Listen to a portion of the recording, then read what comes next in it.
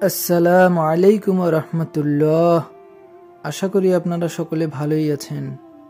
পবিত্র কোরআনে একশো চোদ্দোটি সুরা রয়েছে। তার মধ্যে সুরা নাশ হল সর্বশেষ সুরা। সুরা নাশের পরবর্তী সুরা হল সুরা আল ফালাক এর সঙ্গে বিষয়বস্তুতে অনেক সাদৃশ্য রয়েছে। হাদিস শরীফে সুরা নাশ ও সুরা ফালাক বারবার পড়ার জন্য বলা হয়েছে। এই দুই সুরাকে একসঙ্গে মুআও বিজাতাইন বলা হয়।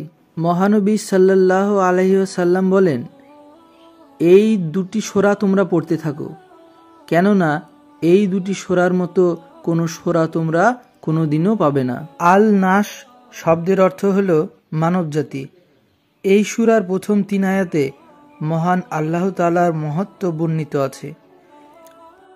আর পরের তিন আয়াতে জিন ও মানুষরূপী শয়তানের কুমন্ত্রণা হতে মহান আল্লাহর কাছে আশ্রয় গ্রহণের নির্দেশ দেওয়া আছে। এই সুরায় আল্লাহ তালার তিনটি সিফাত, মানুষের পালনকর্তা, মানুষের অধিপতি, মানুষের উপাস্য উল্লেখ করা আছে।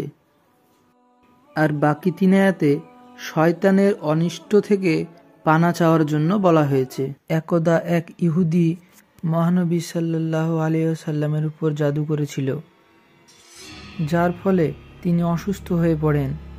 জিব্রাইল আলাইসাল্লাম মহানবী সাল্লাহ আলাইসাল্লামকে বললেন যে, এক ইহুদি তাকে জাদু করেছে এবং যে জিনিস দিয়ে জাদু করা হয়েছে তা একটা কূপের মধ্যে পাথরের নিচে আছে। মহানবী সাল্লাহ আলাইসাল্লাম সেই জিনিস কূপ থেকে উদ্ধার করার জন্য লোক পাঠালেন। সেখানে গিয়ে কয়েকটা গিরা পাওয়া গিয়েছিল।